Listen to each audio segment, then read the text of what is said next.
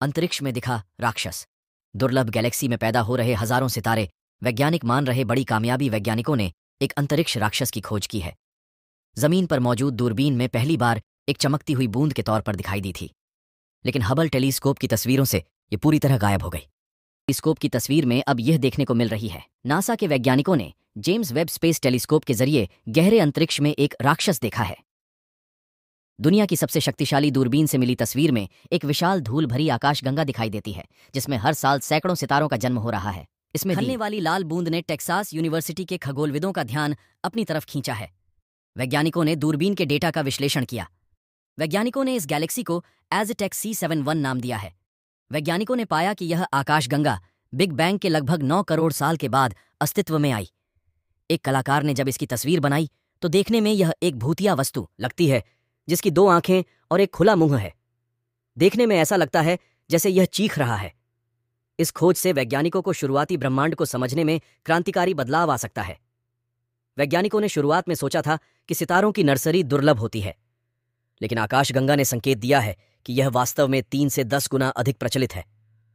Austin में, Texas university में post doctoral शोधकर्ता जेड मैकनी ने कहा कि यह तारामंडल वास्तव में एक राक्षस जैसा है। इसमें छोटी छोटी बूंदों की तरह दिखने वाले सैकड़ों नए सितारों का जन्म हो रहा है। उन्होंने कहा कि, हमारी नवीनतम दूरबीन में भी यह चीज़ बेहद मुश्किल से दिखाई देती है, जो मेरे लिए बेहद रोमांचक है।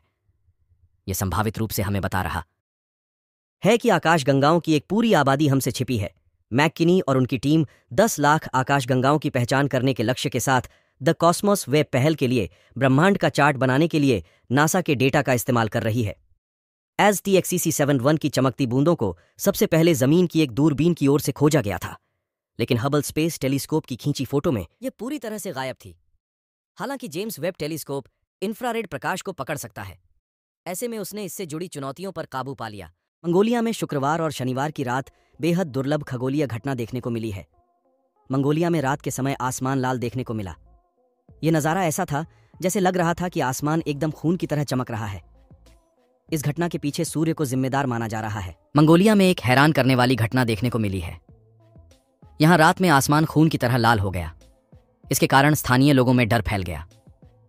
यह एक असाधारण खगोलीय घटना थी, क्योंकि शुक्रवार और शनिवार की सुबह सबसे दुर्लभ अरोरा घटनाओं में से एक देखने को मिला। इस लाल रंग के लिए एक सौ तूफ़ान को जिम्मेदार ठहराया जाता है, जो पृथ्वी से टकराया। इस कारण एक ऐसा दृश्य देखने को मिला, जिसने सभी को आश्चर्यचकित कर दिया। आसमान में दिखने वाली इस रंगीन रोशनी को अरोरा के नाम से जाना जाता है। अरोरा आमतौर पर पृथ्वी के ध्रुवों पर दिखाई देते हैं। वहाँ इनका रंग हरा होता है। हालाँकि मंगोलिया में दिखने वाले अरोरा हैरान करने वाले थे। ऐसा इसलिए क्योंकि इनका रंग लाल था। पृथ्वी की सतह से दो सौ इकतालीस किमी ऊपर वायुमंडल बेहद पतला है। यहाँ उच्च ऊंचाई पर ऑक्सीजन के साथ सौर कण टकराते हैं और इस क्रिया के कारण दुर्लभ रोशनी दिखती है। अरोरा में लाल रंग सबसे ज़्यादा दुर्लभ होता है। तीव्र सौर गतिविधि को लाल रंग का कारण माना जाता है। इस घटना के लिए चल रहे सौर तूफ़ान या सूर्य से निकलने वाले कई कोरोनल मास इजेक्शन को जिम्मेदार माना जा रहा है। 27 नवंबर 2023 को सूर्य से बड़ी मात्रा में चार्ज्ड पार्टिकल्स निकले थे। 29 नवंबर को यह कण पहली बार पृथ्वी से टकराए थे। सौर कण जब उच्च ऊंचाई पर ऑक्सीजन अणुओं से टकराते हैं तो यह लाल अरोरा बनते हैं। अधिक ऊंचाई पर ऑक्सीजन का घनत्व कम होता है। यह प्रक्रिया नियॉन रोशनी की तरह काम करने के समान है, जिसमें उत्तेजित गैस परमाणु अपनी जमीनी स्थिति में लौटने पर प्रकाश के फोटोन छोड़ते हैं। ऐतिहासिक रूप से, लाल अरोरा को सबसे शक्तिशाली भूचुंबकीय तूफानों के दौरान देखा गया है। साल अठारह की कैरिंगटन घटना रिकॉर्ड के मुताबिक सबसे तीव्र सौर तूफ़ान है। उस घटना के दौरान दक्षिण में कैरेबियन और मैक्सिको तक लाल अरोरा देखने को मिले थे। आसमान इतना ज़्यादा चमकदार था कि पक्षियों को लगा कि दिन हो गया। इस कारण उन्होंने चहचहाना शुरू कर दिया। मंगोलिया के अरोरा ने वैज्ञानिकों को इसके बारे में ज़्यादा समझने में मदद दी है। हमारे ब्रह्मांड में कई आश्चर्यचकित चीज़ें होती रहती हैं। धरती से देखने पर ये तारे टिमटिमाते हुए नज़र आते हैं। हालाँकि, वो पृथ्वी से अरबों किलोमीटर दूर होते हैं, लेकिन इसके बाद भी उनका प्रकाश हमारी आँखों तक पहुँचता है। इसके पीछे वायुमंडल में मौजूद नाइट्रोजन, ऑक्सीजन और अन्य गैसों का मिश्रण होता है। ये चीज़ें अंतरिक्ष से आने वाले प्रकाश को प्र, पृथ्वी पर पहुँचने से पहले विकृत कर देती हैं।